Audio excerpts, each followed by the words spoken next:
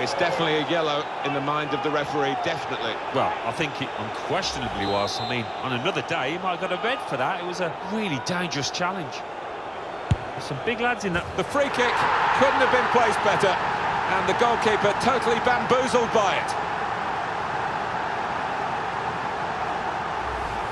I think he's just caught the goalkeeper out with this one, and that's all part of the skill. Bit of kidology.